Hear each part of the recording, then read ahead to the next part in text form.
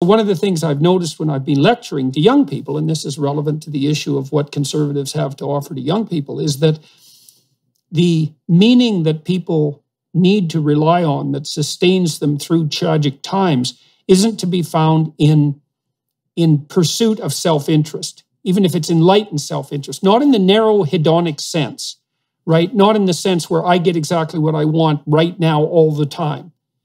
What seems to provide people with stabilization in their life and hope is the fostering of a hierarchical network of social interactions so that it's pretty hard to be sane and to have a functional identity without being married or the equivalent if you're an adult. You need someone who's a long term partner because otherwise your life is a mess of loneliness or short term chaotic relationships.